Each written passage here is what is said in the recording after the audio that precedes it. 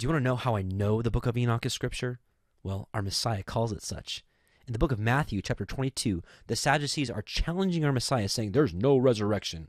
Our Messiah rebukes and corrects them using the book of Enoch. I'm going to stop you right there because Jesus does not say Enoch is scripture. When Jesus quoted from the scriptures, he usually quoted it directly and opened with a phrase like, It is written, or have you not read?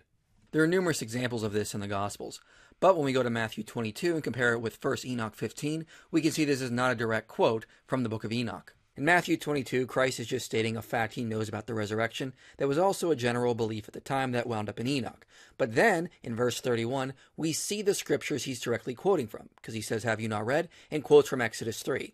If he was quoting from Enoch, he would have quoted it directly and said, Have you not read? before he mentioned this general belief about the resurrection. This idea also wound up in 2nd Baruch 51.10, so how do you know he's not quoting from there? So, Jesus is not quoting from Enoch, which is good because it contains heresy. See this video on my channel for more.